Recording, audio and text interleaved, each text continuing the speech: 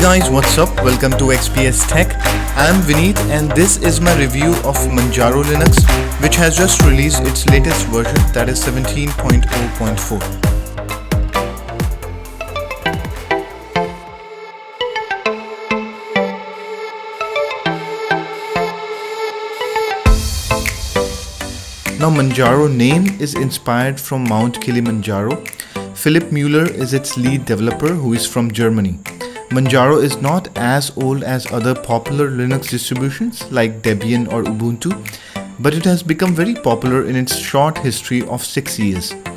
The primary aim of this distribution is to provide Arch experience of cutting edge technologies to people who are not very tech savvy or computer expert to get into the complexity of making an Arch system from scratch. So in other words, it aims to be a user-friendly version of an Arch system, which is pretty evident from the installation process itself. Installation of Manjaro is done through the Calamares installer, which presents all the installation options in a simple and clean manner.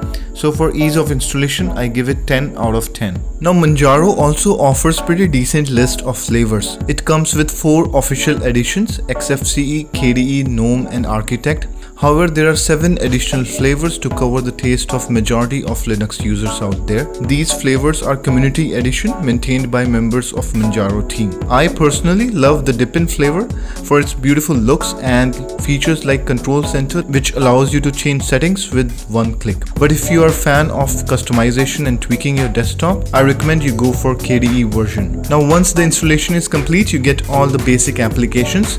The pre-installed applications varies and depends on on the flavor that you choose. Manjaro follows a rolling release model, which nowadays is quite popular and followed by majority of Linux distribution.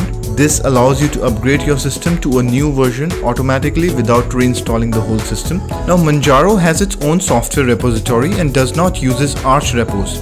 However, the packages released on Arch repos are first tested for Manjaro and then eventually get into Manjaro's stable repo.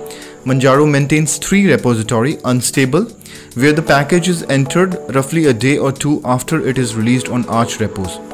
After some testing, it moves to testing repo, which usually takes a week. Now after thorough testing, the package goes into the stable repo of Manjaro, which is usually two weeks behind the Arch repos. So Manjaro is never as cutting edge as Arch, but it is as close to Arch as you can get. However, Manjaro does gives you access to Arch user repository or AUR in short, which is a community-driven repository for Arch user.